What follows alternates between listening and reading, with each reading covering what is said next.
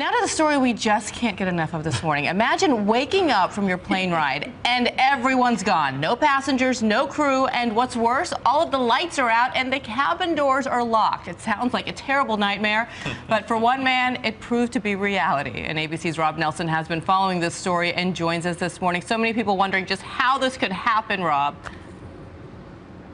That's a great question. Good morning, Bianca. You may remember that film a few years ago with Tom Hanks, The Terminal, where Tom got lost in the airport. Well, for one Louisiana guy, that film really hits home right now. But in the real life version of the story, that guy never even made it off the plane.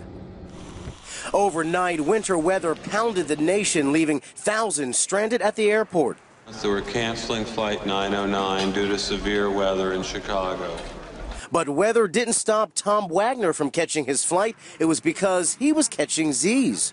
I woke up and uh, the lights were out. I was like, what's going on? Wagner was headed from Louisiana to California with a layover at Houston's Bush Intercontinental Airport. Prepared to meet his sister in Orange County, Wagner woke up in his seat near the back of the plane, freezing all alone in a dark, empty cabin. I called my girlfriend, and she thought I was crazy.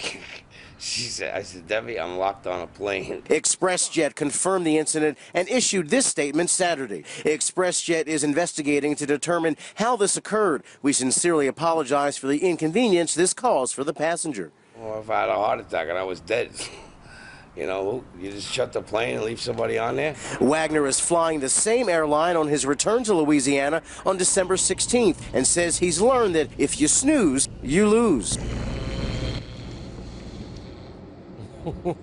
now, Wagner did eventually get a voucher both for a hotel room and another flight. And just to be safe, when that plane finally got to California, they announced his name over the intercom to make sure that that time he did get off the plane. This, Dan and Bianca. The stewardesses were bringing him coffee yeah, throughout the flight. I was about to say, I'm sure he was highly caffeinated for this flight.